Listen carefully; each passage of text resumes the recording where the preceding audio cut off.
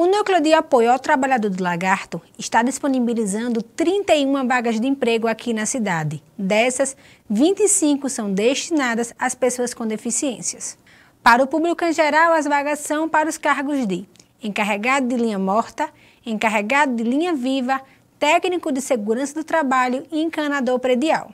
Já para as vagas destinadas às pessoas com deficiência, os cargos são auxiliar de produção e indústria, auxiliar administrativo, ajudante de carga e descarga de caminhão, embalador de produção e indústria, auxiliar de eletricista, eletricista linha viva de alta tensão, eletricista em linha morta, eletricista motorista e motorista munqueiro de linha morta, sendo que a maioria exige conhecimento especializado.